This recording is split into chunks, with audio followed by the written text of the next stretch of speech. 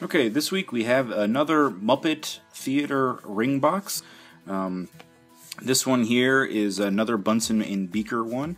As you can see, the, the theater itself is constructed out of wood uh, with two hinges here on the top. I like to do the uh, Muppet Theater uh, front piece here with a little Kermit sticking out. Kermit is actually a little bit three-dimensional, as you can kind of see when I turn the box there. On the bottom, we have my switch again. This switch actually activates the lights. So go ahead and turn that on. The lights are on the inside. Once you open the box, we have uh, Bunsen and Beaker on the inside here.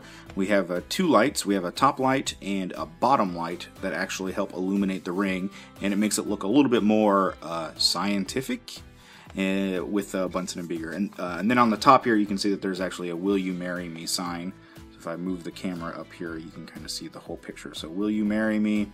and then on the bottom you have Bunsen and Beaker. If we zoom in here, you can kind of see I've got some three-dimensional uh, scientific uh, gear in the back there that help to uh, show uh, showcase, make it look a little bit more scientific. So there we have the Muppet Theater version 3, uh, Bunsen and Bunsen Honeydew and Beaker's Laboratory.